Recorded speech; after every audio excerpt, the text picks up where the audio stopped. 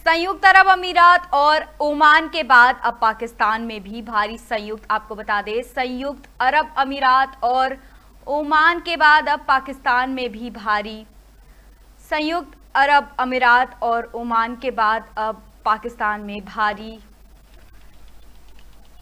पाकिस्तान में भारी बारिश से बाढ़ जैसे हालात बन गए हैं। वहाँ भारी बारिश और बाढ़ से 50 लोगों की मौत हो चुकी है और 50 लोगों की मौत हो चुकी है।